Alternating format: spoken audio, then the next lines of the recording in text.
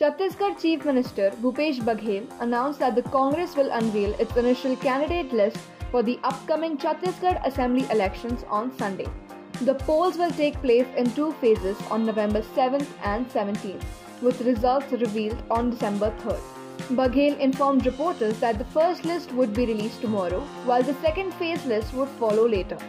When questioned about their strategy against former Chief Minister and BJP leader Raman Singh, Baghel stated that details would emerge with the official list release. Out of the 20 seats in the first phase, the Congress holds 19.